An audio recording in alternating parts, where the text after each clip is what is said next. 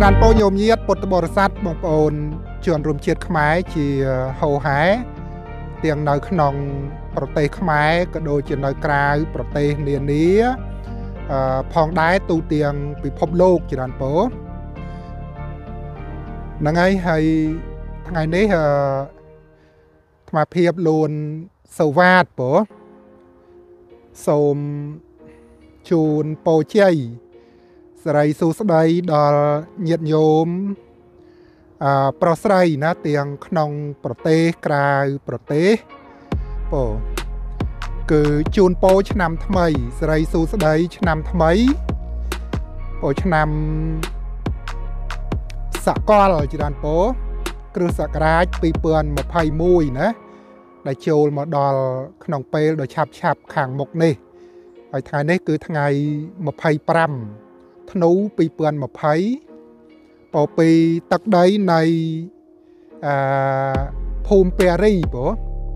ភូមិពារីវត្តស្វិសខេមរារាមពោខេត្តបែនប្រទេសស្វិសច្រើនពោហើយថ្ងៃនេះគឺយើងឃើញធ្លាក់ព្រិលពោធ្លាក់ព្រិលចំថ្ងៃគ្រីស្មាស់ណាច្រើនពោថ្ងៃនេះក៏ហៅថ្ងៃគ្រីស្មាស់គេហើយពោ ព្រោះ Merry Christmas ញាតិញោមហើយយើងពុទ្ធសាសនាមែនក៏ប៉ុន្តែសាសនាសកលនៅក្នុងលោកញាតិញោមក្នុងនោះមានពុទ្ធសាសនា មានគ្រិស្តសាសនា មានអ៊ីស្លាមសាសនាព្រោះដូច្នេះនៅក្នុងច្បាប់រដ្ឋធម្មនុញ្ញនៃព្រះរាជាណាចក្រកម្ពុជាយើង គឺបានធានាណាការពីថាប្រជាពលរដ្ឋខ្មែរទាំងអស់គ្នាយើងមានសិទ្ធិ ជឿសាសនាណាក៏បាន ហើយក៏មានសិទ្ធិមិនជឿសាសនាណាក៏បាន គឺមានន័យថាអត់មានការបង្ខិតបង្ខំបង្ខាំងបង្ខៀរីរៀងស្អីស្អីគឺអត់មានទេច្រើនពោនេះច្បាប់រដ្ឋធម្មនុញ្ញនៃប្រទេសកម្ពុជា ចំណែកច្បាប់អន្តរជាតិក្នុងនោះច្បាប់អង្គការសហប្រជាជាតិក៏និយាយណាពីជំនឿ នៅសេរីភាពជំនឿនៅក្នុងសាសនាផងដែរហើយប្រទេសណាក៏ដូចប្រទេសណាដែរញាតិញោមឲ្យតែប្រទេសកាន់របបប្រជាធិបតេយ្យសេរីណាគឺក្នុងនោះគឺពាក្យថាសេរីហ្នឹងគឺមានន័យថាសេរីភាពហ្នឹងឯងញាតិញោមសេរីភាពនៃជំនឿសេរីភាពអឺអឺអឺការបញ្ចេញមតិសេរីភាពក្នុងការរស់នៅ ជួបប្រជុំប្រមូលផ្ដុំណាទៀមទាតវ៉ាដោយអហិង្សានិងសន្តិភាពផ្សេងផ្សេងនៅច្រើនពោហើយក្នុងនោះ គឺសេរីភាពផ្នែកការដើរហើរអឺរស់នៅញាតិញោមមិនត្រូវមានជួនណាមកគម្រាមកំហែងបំផិតបំភ័យចោតចាប់បាញ់ស្លាប់ចាប់ដាក់គុកទេអញ្ចឹងក្នុងសេរីភាពសាសនាក៏ដូចគ្នាដែរញាតិញោម បើអញ្ចឹងអាថ្ងៃ25ធ្នូនេះគឺទស្សនភាពទឹកដីនៃតំបន់ភូមិពេរីខេត្តបែន ប្រទេសស្វីសច្រើនពោហើយថ្ងៃនេះគឺបើប្រទេសនេះប្រជាពលរដ្ឋប្រទេសនេះគេសប្បាយចិត្តពេញទំហឹងហើយច្រើនពោគេសប្បាយចិត្តនឹងឃើញនេះឃើញព្រិលឃើញតកឃើញឲ្យធ្លាកជាប់ថ្ងៃគ្រីស្មាស់ណាញាតិញោមពោ ជាប់ថ្ងៃគ្រីស្មាស់គេគេចាត់ទុកថាព្រះឲ្យពោជ័យអឺប្រនាងព្រិលតកកជូនពោជ័យណាឬក៏អឺតាអីសែនតសែនតក្លូសអីតាណូអែលណាច្រើនពួកអាត្មាអត់សូវដឹងទេព្រោះបើនិយាយខុសញាតិញោមកុំចាប់កំហុសអីពួកយើងកាន់ពុទ្ធសាសនាយើងស្វែងយល់ទៅថ្ងៃពុទ្ធសាសនាហើយថ្ងៃ គ្រីស្មាស់នេះវាជាថ្ងៃចាប់កំណើតចាប់បដិសន្ធិនៃអឺគេហៅថាព្រះយេស៊ូវគ្រីស្ទណាញាតិញោមព្រោះអញ្ចឹងគេហៅ Christmas Day ព្រោះ Christmas Day ហ្នឹងគឺគេប្រារព្ធឡើងដើម្បីរំលឹកនឹកទៅដល់ថ្ងៃចាប់បដិសន្ធិនៃព្រះយេស៊ូវចរន្តពោហើយប្រពុតយើងក៏មានថ្ងៃចាប់កំណើតដែរញាតិញោមណា ថ្ងៃពុទ្ធសាសនាយើងព្រះអង្គទ្រង់ចាប់កំណើតឆ្នាំរកាខែអាសាឍថ្ងៃប្រហោះណា15កើតពេញបរមីច្រើនពូអឺហើយដល់ថ្ងៃសាសនាយេស៊ូវគ្រីស្ទចាប់បដិសន្ធិគឺថ្ងៃនេះឯងថ្ងៃ25ថ្ងៃនេះត្រូវថ្ងៃអីចេះញាតិញោមបងបង25ខែធ្នូ2020 អឺថ្ងៃនេះគេជូនពោគ្នាទៅវិញទៅមកច្រើនពោហើយគេជូនកដោគ្នាកដោហ៎ញាតិញោមអឺគេជូនជាអំណោយគ្នាទៅវិញទៅមកណាហើយចឹងគឺជាថ្ងៃគេសបាយរីករាយជួបជុំក្រុមគ្រួសារមិត្តភ័ក្តិសពគ្រប់ប្រការតាមផ្ទះតាមអីក្តីណា ហើយបើគិតទៅ ថ្ងៃនេះគឺថ្ងៃសបាយគេណាច្រើនពោប៉ុន្តែដោយសារតែមេរោគកូវីដ -19 វាយប្រហារដូច្នេះអាកូវីដ -19 ហ្នឹងអត់ស្គាល់ព្រាសអត់ស្គាល់អឺមនុស្សអីទេច្រើនពោគឺតែយើងជួបជុំគ្នាប្រមូលផ្ដុំគ្នាអឺវាខុសក្នុងច្បាប់អឺអីអីផ្សោផ្សេងផ្សេងផងព្រោះប្រទេសនេះក៏មេរោគកូវីដ -19 ជាង30ម៉ឺននោះកើតច្រើនពោប្រទេសស្វីសហ្នឹងណា ហើយបើប្រទេសបារាំងនោះក៏រឹបចូលរឹបចូលលៀនហ្នឹងពោប្រទេសបារាំងណាប្រទេសបារាំងក៏បែរនេះឯងអញ្ចឹងនៅមានភាពតឹងតែងនៅឡើយទេចរានពោមិនទាន់ធូរស្រាលទេនៅតែមានការបិទប្រទេសណាអូបិទព្រំដែនបិទវិធីជួបជុំប្រមូលផ្ដុំផ្សេងផ្សេងនៅឡើយទេហើយក្នុងនោះប្រទេសកម្ពុជាយើងក៏ដូចគ្នាដែរញាតិញោមយើងឃើញទាំងអស់គ្នាហើយតាមសារព័ត៌មានណា ពោប៉ុន្តែទោះជាយ៉ាងណាគឺគេជួបជុំលក្ខណៈក្រុមគ្រួសារគេគេនៅតែជួបជុំនឹងឯងគេហៅថា Merry Christmas នោះណា Merry Christmas Christmas Day គឺថ្ងៃនេះឯងច្រើនពោហ្នឹងហើយហើយដល់ថ្ងៃនេះជាលក្ខណៈពិសេសរបស់គេជាប់ថ្ងៃបុណ្យ Noel ជាប់ថ្ងៃបុណ្យ Christmas ហើយព្រិលធ្លាក់ញាតិញោមដូចញាតិញោមឃើញធ្លាក់ពេញដី ហើយវាមិនទៅធ្លាក់លើកទី1ទេវាធ្លាក់ច្រើនដងហើយក៏ប៉ុន្តែកាលណាវាធ្លាក់មកអញ្ចឹងទៅមានភ្លៀងមានអីវារលាយអស់អញ្ចឹងណាញាតិញោមវារលាយអស់ឬក៏មានថ្ងៃមានអីវារលាយអស់អញ្ចឹងទៅហើយទៅថ្ងៃនេះឯងគឺធ្លាក់មកគឺអានេះព្រិលសសនេះទៅឃើញមានន័យថាព្រិលធ្លាក់ថ្ងៃនេះឯងញាតិញោមថ្ងៃ Christmas Day ហ្នឹងបង បើពីប្រមាណពីដើមខែ ពីដើមខែធ្នូអានោះมันធ្លាក់កពស់កពស់ចូលផែ2ចំអាមច្រើនពូព្រោះអញ្ចឹងគឺគេសប្បាយចិត្តណាញាតិញោមគេសប្បាយចិត្តនៅពេលវាមានអឺព្រិលធ្លាក់ណាជាប់ថ្ងៃ Christmas Day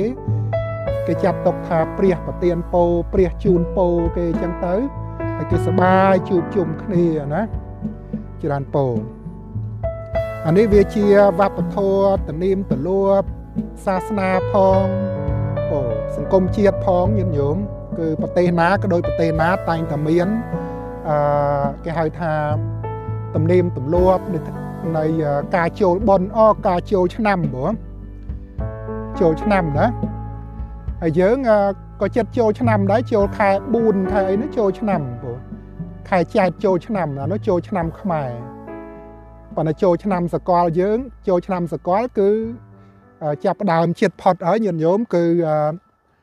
ផុតខែ12នេះចូលឆ្នាំសកលហើយគឺខែ1បើថ្ងៃ1ថ្ងៃ2ថ្ងៃ3ហ្នឹងគឺគេប្រារព្ធពិធីបន់ចូលឆ្នាំសកលព្រោះហើយនៅទឹកដីនៃប៉ែកអឺរ៉ុបនេះក៏ដូចគ្នា គឺចាប់ពីពេលនេះ ទៅហ្នឹងគឺគេត្រូវវ៉ាកងញាតិញោមគេគេរដូវគេវ៉ាកងរដូវគេឈប់សម្រាកចូលឆ្នាំពរដូវគេចាយលុយកាក់ឲ្យញាតិញោមដែលគេខំធ្វើការរយៈពេល1ឆ្នាំណាគេខំធ្វើការងាររយៈពេល1ឆ្នាំហ្នឹងដល់ពេលខែចូលឆ្នាំហ្នឹងគេចាប់ផ្ដើមដើរលេងគេចាប់ផ្ដើមស៊ីចាយគេចាប់ផ្ដើមទិញរបស់របរទាំងឡាយច្រើនពោហ្នឹងហើយ គេទិញរបស់របរទាំងឡាយជាកាដូជូនគ្នាអញ្ចឹងទៅអាត្មាបានកាដូមួយដែរបានកាដូពីញោមញោមប្រុសនៅសឺណែវប្រកេននាឡិកាមួយគ្រឿងច្រើនពោនាឡិកាថ្មីចែតែហ្មងណាអុយប្រកេនទូរស័ព្ទមិនប្រកេនតែប្រកេននាឡិកាអាត្មាប្រើមិនកើតច្រើនពោអមកប្រកេនទូរស័ព្ទជាប្រើបានណាច្រើនពោ កេន iPhone អី12 10អីមកចឹងទៅវាអឺហើយញោមគាត់ប្រកេននាឡិកាញញោមអានាឡិកាផលិតនៅប្រទេសស្វីសនេះអូល្អណាស់នាឡិកានោះតម្លៃវាជាង1500ស្វងប្រង់ហ្វ្រង់ស្វីសបើគិតជាលុយដុល្លារចូលប្រហែលជា1700ដុល្លារឯណោះជិត2000ដុល្លារឯណោះច្រើនពោពោហើយ ទៅបនថ្ងៃមុននៅហ្សឺណែវនៅទីក្រុងហ្សឺណែវជិះតេះភ្លើងពីនេះទៅខ្ទួងប្រហែលជាអឺ1ម៉ោង30នាទីអីដល់ទីក្រុងហ្សឺណែវណាអញ្ចឹងញោមគាត់ជូនកដោថ្ងៃបនអឺគ្រីស្មាស់គេហ្នឹងថ្ងៃបនណូអែលឬក៏ជូនកដោថ្ងៃបនចូលឆ្នាំសកលពោ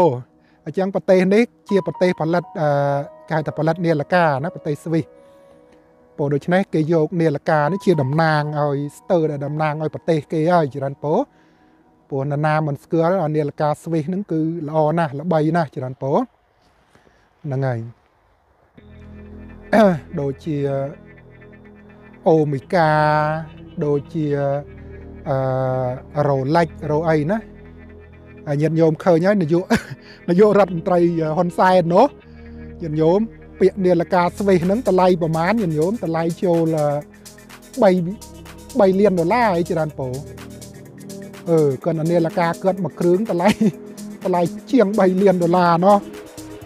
អូអញ្ចឹងជួនជាតិស្វីសនេះអត់មានសំណាង បានពាក្យនាឡិកាថ្លៃថ្លៃចឹងទេញាតិញោមពាក្យនាឡិកាបានអស់ហើយត្រឹម1000 2000អស់ច្រើនម៉ឺនសំបីតនាយករដ្ឋមន្ត្រីគេក៏មិននា យករដ្ឋមន្ត្រីស្វីសប្រទេសផលិតនាឡិកាផងតែអត់មានលុយទិញនាឡិកាតម្លៃ3លានដុល្លារទេច្រើនពោចាញ់នាយករដ្ឋមន្ត្រីខ្មែរដាច់ណាអឺយុទ្ធរដ្ឋមន្ត្រីហ៊ុនសែនគាត់មានលុយទិញនាឡិការហូតដល់ជាង3លានដុល្លារញញោមមិនធម្មតាទេព្រោះហើយអាត្មាថ្ងៃនេះក៏បាននាឡិកាមួយគ្រឿងដែរគឺញោមញាតណានៅ សឺណែវប្រទេសស្វីសហ្នឹងគាត់ប្រកេនញាតិញោមហើយតែគេប្រកេនយើងទទួលទៅណាញាតិញោមមិនមែនថាអូអាត្មាអត់ទទួលទៅនាឡិកាប្រសងពាក្យនាឡិកាមិនកើតទេណាពាក្យខ្សែកខ្សែដៃអត់កើតទេណាអឺតិចប្រកេនខ្សែកមាសអីខ្សែដៃមាសអីអាត្មាពាកអីអាត្មាពាកទេច្រើនពោពួកអីប្រសងគឺអ ត់ត្រូវការគ្រឿងលម្អផ្នែកមាសប្រាក់យកមកលម្អណាចឹងទេឲ្យគ្រឿង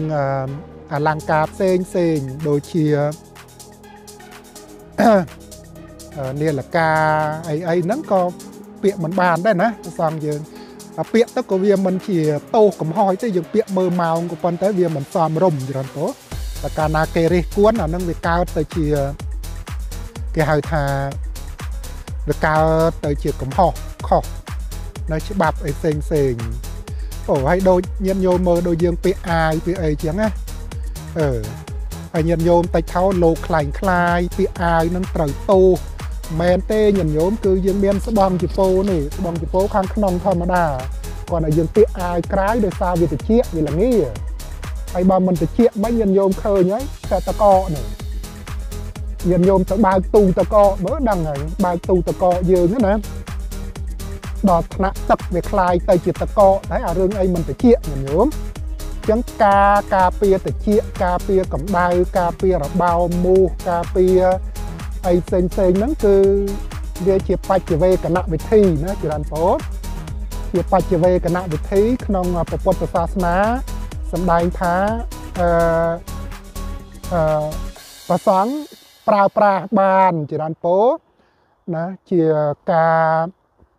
ការពាររារៀងនៅតិចផ្សេងផ្សេងច្រើនពោពោអញ្ចឹងហ្នឹងហើយថ្ងៃនេះគឺថ្ងៃ Merry Christmas Day គេហ្នឹងណាញាតិញោមថ្ងៃព្រះយេស៊ូវទ្រង់អីទ្រង់ប្រសូតអីក៏ទ្រង់ទ្រង់ប្រសូតហ្នឹងឯងច្រើនពោចឹងគេជូនពោគ្នាទៅវិញទៅមកចឹងទៅហើយក្នុងនោះ គឺនៅទឹកដីនៃប្រទេសស្វីសអូខេត្តបែនភូមិពេរីនេះ គឺស្រាប់តែធ្លាក់ព្រិលធ្លាក់តកជាប់ថ្ងៃ Merry Christmas មិញធ្លាក់ខ្លាំងហើយញញោមលងហុយតលោមឥឡូវវាស្មាដើរថតបានដោយសារវាវាធ្លាក់មកតិចតិចហើយវាធ្លាក់លាយដោយភ្លៀងផងញញោមធ្លាក់ដោយធ្លាក់លាយដោយភ្លៀងបើធ្លាក់ស្ងួតយើងដើរទៅមិនសូវអីទេ តែធ្លាក់លាយដោយភ្លៀងគឺវាវាទៅទឹកហ្នឹងញញោមពរចាំជូនពរជ័យសិរីសួស្តីឆ្នាំថ្មីណាឆ្នាំសកលញាតិញោមគ្រិស្តសករាជណា2021ពោ2020កន្លងផុតទៅ ក្នុងពេលដ៏ឆាប់ឆាប់នេះឯងគឺថ្ងៃនេះថ្ងៃ25ធ្នូ2020ហើយញាតិញោមពោអញ្ចឹងអា អឺឆ្នាំ2020ណាវាជាឆ្នាំមួយដែលពោពេញដោយសេចក្តីទុកសេចក្តីព្រួយសេចក្តីភ័យផ្សេងផ្សេងតែម្ដង ជាពិសេសតាក់ទងនឹងមេរោគកូវីដ -19 ដែលវាយប្រហារពាសពេញលើពិភពលោកណាហៅថា COVID-19 COVID-19 ហ្នឹងមានន័យថាមេរោគឆ្នាំអីឆ្នាំដែលវាកើតឡើង ចាប់ផ្ដើមតាំងពីឆ្នាំ2019ចូលដល់2020មកដល់ពេលនេះណាអញ្ចឹងវាអឺសូមឲ្យមេរោគដកាចសាហាវនេះរលាយរលត់ចេញពីពិភពលោកច្រើនពរហើយសូមឲ្យអឺឆ្នាំ2021នេះផុតទុកព្រួយផុតទុកភ័យមានសេរីសួស្តីមានជោគជ័យ ពោមានសិទ្ធិសេរី មានយុត្តិធម៌មានសុខសន្តិភាពច្រើនពោកើតមានដល់ប្រទេសកម្ពុជាយើងច្រើនពោព្រោះប្រទេសកម្ពុជាយើង ក្នុងឆ្នាំ2020នេះ គឺពោពេញដោយការបំផិតបំភ័យការចោតចាប់ពោក្រោមច្បាប់មួយដែលមិនមានស្តង់ដារឯករាជ្យអព្យាក្រឹតអត់លំអៀងច្រើនពោគឺជាច្បាប់មួយដែលមានស្តង់ដារ2ណា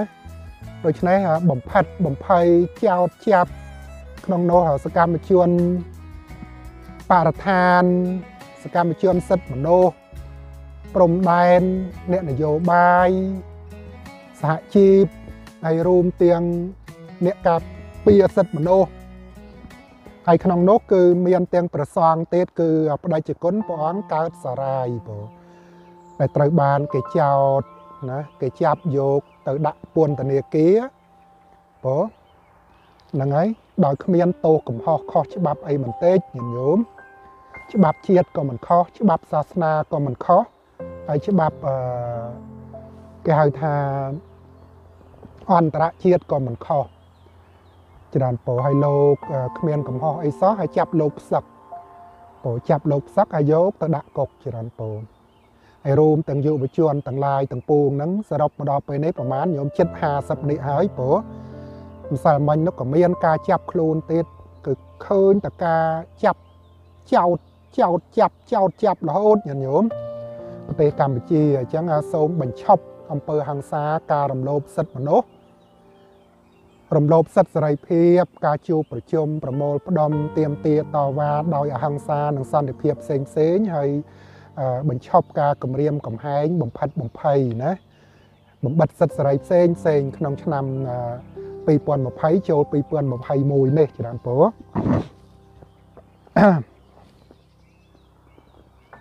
ពោអញ្ចឹងញាតិញោមនេះទស្សនភាពណាទេសភាពថ្ងៃ Merry Christmas ញាតិញោម Merry Christmas ណាគឺ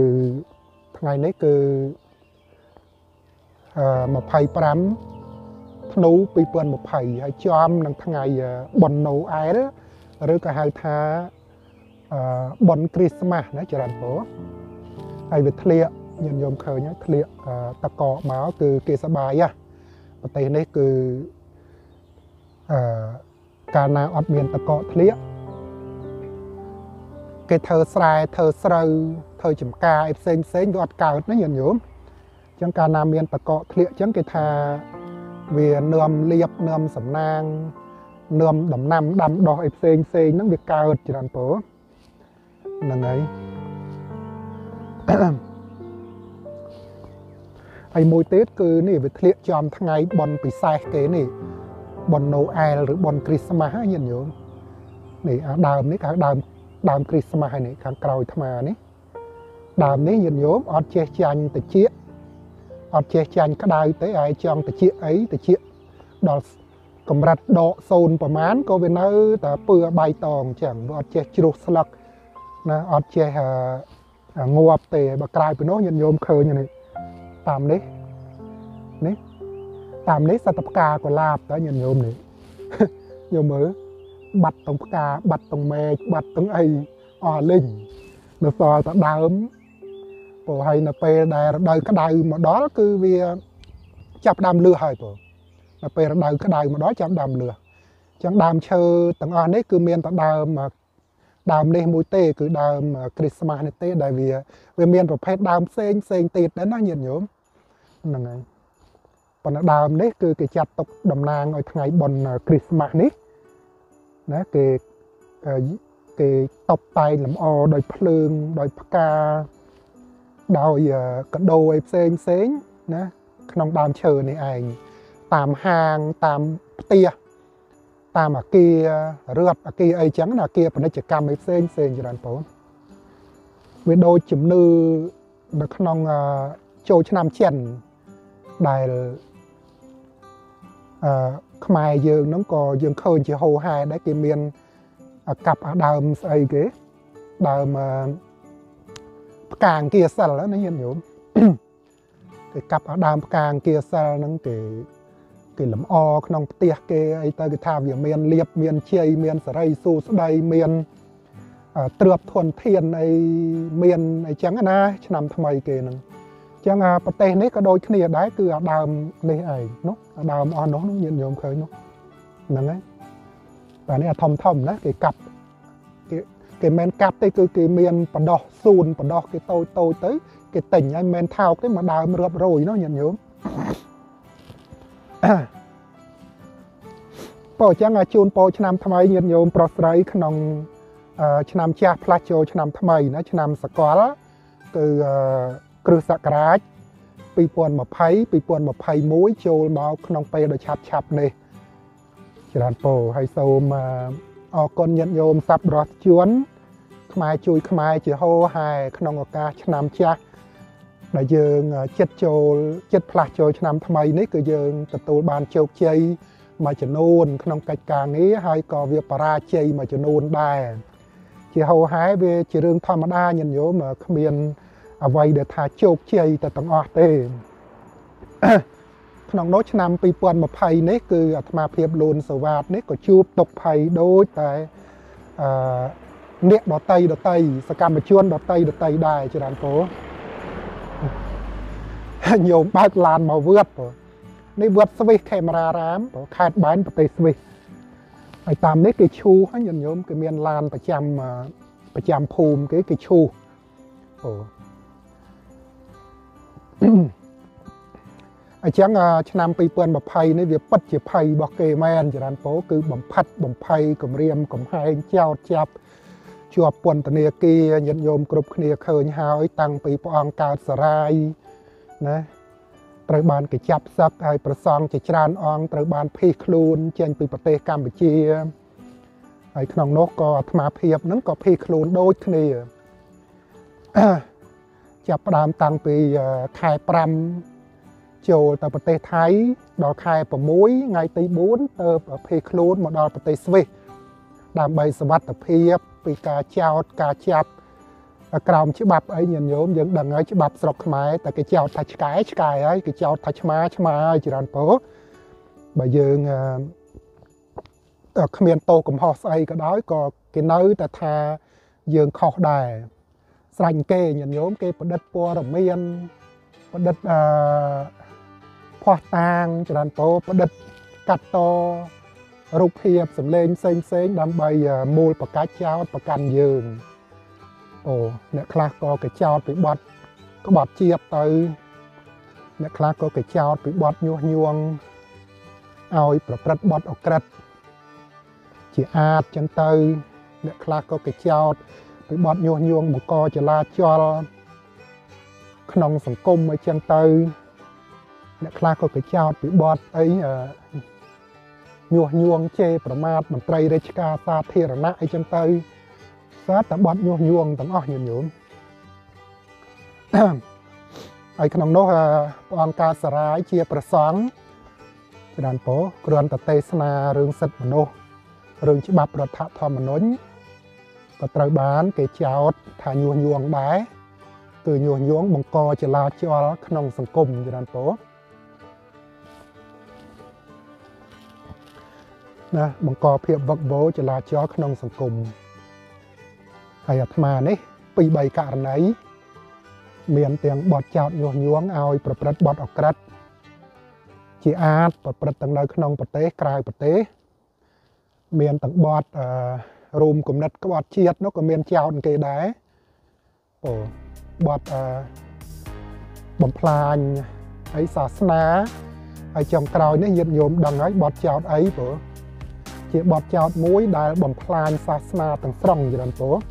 មិនមែនអាត្មានេះបំផ្លាញទេញាតិញោមគឺបទចោតនោះវាប៉ះពាល់ធ្ងន់ធ្ងរដល់ពុទ្ធសាសនាណាគឺដូចចោតសម្លាប់ព្រោះគេឈ្មោះកតញ្ញុយើង មិនតែប៉ុណ្ណោះវាចោតបំផ្លាញពុទ្ធសាសនាមិនមែនអាត្មានេះបំផ្លាញណាអានេះចោតនឹងឯងបំផ្លាញព្រោះហ្នឹងហើយ ចឹងឲ្យឆ្នាំ2020នេះវាពោពេញដោយຕົកភ័យតែម្ដងច្រើនតហ្នឹងហើយហើយសូមឲ្យຕົកភ័យគ្រោះកាយគ្រោះកម្មចង្រៃនេះ រលាយបាត់អស់ទៅញាតិញោមពីប្រទេសកម្ពុជាហ្នឹងហើយឆ្នាំ2021សូមឲ្យជួយប្រទេសកម្ពុជាឲ្យមានសុខសន្តិភាពសិទ្ធិសេរីភាពប្រជាធិបតេយ្យ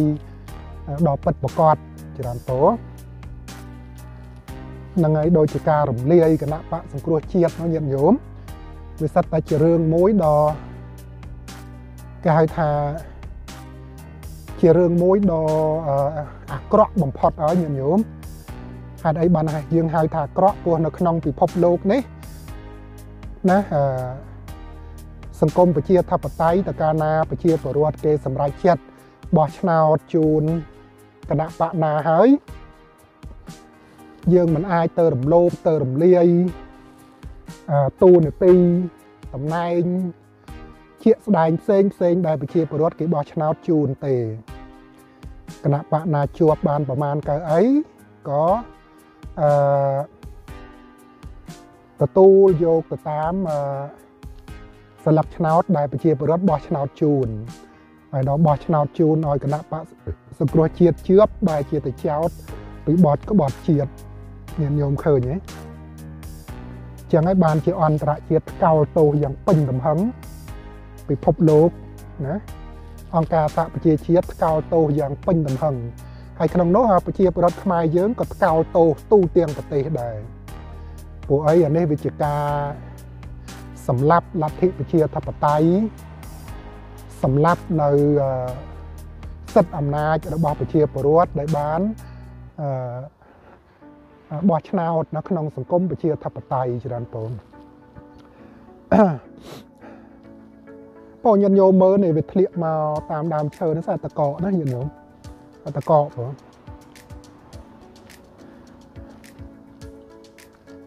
ហើយនេះมันធ្លាក់ច្រើនទេច្រើនពោបើវាធ្លាក់ច្រើនគឺលិចណា លិចត្រឹមចកេះត្រឹមចគួងនោះច្រើនពោនេះធ្លាក់ល្មមល្មមអញ្ចឹងទេហើយវាធ្លាក់ចំថ្ងៃ Christmas Day ដែលជាថ្ងៃបុណ្យព្រះជាម្ចាស់គេណាថ្ងៃបុណ្យណូអែលណាញាតិញោមថ្ងៃបុណ្យព្រះយេស៊ូវគ្រីស្ទចាប់បដិសន្ធិណាប្រសូតច្រើនពោចឹងថ្ងៃនេះគឺគេចាត់ទុកថាថ្ងៃសេរីសួស្តីថ្ងៃជោគថ្ងៃជ័យគេដែលមានអាកាសធាតុធ្លាក់ តកធ្លាក់ព្រិលមកអញ្ចឹងគឺគេសបាយញាតិញោមហើយនេះកុំតាគេហៅថាអឺមេរោគកូវីដ -19 ទេណាញាតិញោមបើកុំតាកូវីដ -19 ហ្នឹងគូសបាយណាស់គេដើរលេងណាគេប្រគំតន្ត្រីគេជប់លេងច្រើនពោតែដល់កូវីដ -19 នេះគឺអត់ទេ ប្ររពជាលក្ខណៈតាមគ្រូសាតាមផ្ទះ ច្រើនពោពោ Merry Christmas Day ញាតិញោម Happy New Year ព្រោះហើយយើងទាំងអស់គ្នាក៏ចូលរួមអបអរសាទរដែរព្រោះវាជា ឆ្នាំសកលដែរណាចរន្តពោឆ្នាំសកលពោឲ្យថ្មភាពលួនសវ៉ាតដែលខិតខំសង្វាតចូលរួមកសាងការពារសង្គមជាតិសាសនាទឹកដីព្រៃប្រក្សានៅក្នុង ប្រទេសកម្ពុជាច្រើនពោអស់កាលជាយូរយាអស់កាលជាយូរឆ្នាំហើយក៏ធ្លាប់រងកម្មក្នុងការចោតការចាប់ការប្រើអំពើហិង្សាលើ ការគំរាមកំហែង ការបំផិតបំភ័យការបដិញ្ញចេញពីវត្តការហាម5វត្តទូទាំងប្រទេសមិនឲ្យគួងនៅអូចោតចាប់ពីប្រព័ន្ធច្បាប់តឡាការក្តីពីច្បាប់អឺអឺ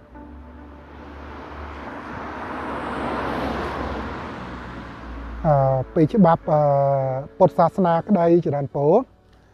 ហ្នឹងហើយតែទោះជាយ៉ាងណា គឺអំពើល្អដែលយើងធ្វើ យើងនៅតែធ្វើណាបន្តគឺអំពើល្អខ្មែរជួយខ្មែរអញ្ចឹងជាហោហែអានៅតែបន្តសកម្មភាពផ្នែកការកសាង ផ្នែកការការពារផ្នែកការចូលរួមគ្រប់គ្រងណាក្នុងជំហរមួយកិច្ចការពារសិទ្ធិមនុស្ស សិទ្ធិលំនៅឋានដីធ្លីព្រៃឈើច្រើនពោជាអំពើនៃមនុស្សធម៌ខ្មែរជួយខ្មែរសពគ្រប់ប្រការគឺយើងនៅតែធ្វើនៅតែបន្តធ្វើហើយសូមពៀវនាវបណ្ឌិបាតញាតិញោមអាត្មាកំពុងតែប្រមូលថវិកាញាតិញោមដើម្បីផ្ដល់ជំនួយជួយទៅបដិជគុណព្រះអង្គកើតសារាយព្រោះយើងមិនបានជួយ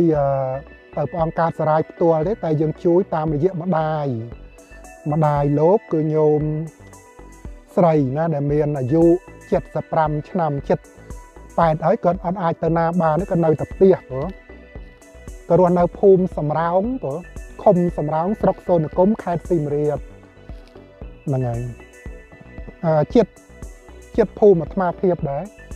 អូចងាយពីភូមិពីវត្តអាត្មាទៅតែ30គីឡូម៉ែត្រទេអញ្ចឹងអាត្មាមានកម្រងព្រោះផ្ដល់ជំនួយជួយបដិជគុណកើតសារាយហើយអ្នកជាប់គុកច្រើនណាស់ច្រើនពោហើយមិនដឹងក៏ជួយឯណាជួយណៃអស់ទេអញ្ចឹងញាតិញោមជួយខាងណាក៏ជួយខាងនោះទៅណា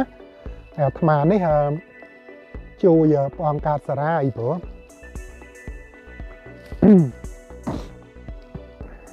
អាត្មាបើកុំតកិច្ចផត់រត់ផត់ក៏គេចាប់ផ្សឹកចូលកុកដូចគ្នាអញ្ចឹងដែរញាតិញោមហ្នឹងហើយតែនេះមិនចាត់ទុកថាយើងរត់ហ្នឹងវាគេហៅថាដើម្បីយកសេចក្តីសុខផ្ទាល់ខ្លួនអីអីគឺអត់មានទេចដានពោយើងភេខ្លួនកិច្ចខ្លួននេះគឺដើម្បីຕົកឱកាសពេលវេលាយើងធ្វើការងារបន្តទៀតចរានពោហើយបើយើង ជាប់គុកបើយើងគេចាប់សឹកអានឹងយើងអស់ឱកាសតែម្ដងចរានពោអស់ឱកាសក្នុងការធ្វើបន់ធ្វើទានខ្មែរជួយខ្មែរកសាងសមិទ្ធផលជាហោហែណាចឹងឆ្នាំចាស់នេះញាតិញោមយើងបានជោគជ័យការងារមួយចំនួនដូចជាការកសាងផ្ទះខ្មែរជួយខ្មែរការកសាងផ្លូវថ្នល់ខ្មែរជួយខ្មែរព្រោះហើយជាហោហែគឺការកសាងពុទ្ធរូបតម្កល់សុខក្នុង វត្តអារាមក្រោមដើមឈើពោអឺហើយជាអំពើបន់ផ្សេងផ្សេងផ្ដល់ជំនួយជួយ ជាលក្ខណៈមនុស្សធម៌សពគ្រប់ប្រការគឺយើងបានជោគជ័យច្រើនណាក្នុងឆ្នាំចាស់ហើយសង្ឃឹមថាផ្លាស់ចូលឆ្នាំថ្មី2021ក៏ញាតិញោមនៅតែបន្តជួយបងបន្តជួយឧបត្ថម្ភគ្រប់គ្រងសាទរចំពោះ ចំហមនុស្សធម៌ខ្មែរជួយខ្មែរញាតិញោមធ្លាក់ចូលភ្នែកញាតិញោមប៉ុន្តែនេះវាប្រដៅចេះវាមិនអីទេកុំតាតកដុំដុំប៉ុនប៉ុនកដៃនោះអាហ្នឹងគ្រោះថ្នាក់ច្រើនពោ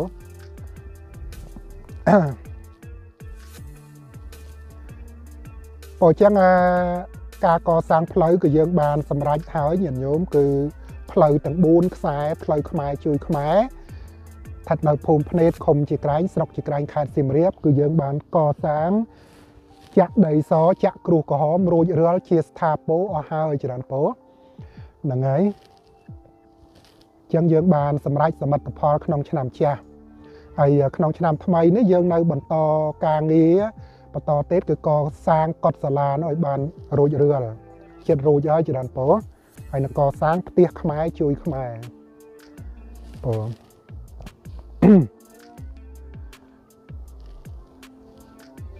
ពោហើយជាពិសេសគឺយើងផ្ដល់ចំណូលជួយជាលក្ខណៈមនុស្សធម៌ដល់ជនក្រីក្រជនរងគ្រោះ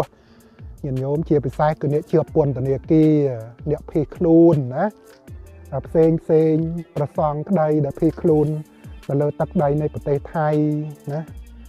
ក្នុងលក្ខណៈខ្មែរជួយខ្មែរយើងនេះគឺមិនមែនក្នុងលក្ខណៈខ្មែរធ្វើបាបខ្មែរទេច្រើនពោ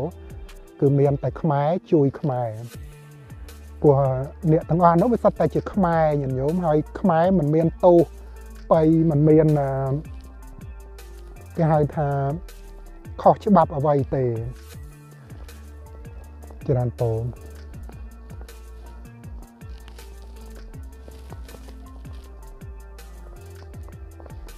ជាឲ្យញាតិញោមអូហើយសោយផ្ដាសាយណាអញ្ចឹងយើង ធ្វើដំណើរដើរទៅវត្តវិញច្រើនពោតកនេះតើធ្លាក់ថ្ងៃនេះណាញាតិញោមអឺធ្លាក់អាថ្ងៃមុនមុនមកវារលាយអស់ហើយពោវារលាយអស់ហើយអានេះតើធ្លាក់ថ្ងៃនេះអីមកតិចខ្លាំងមែនតើ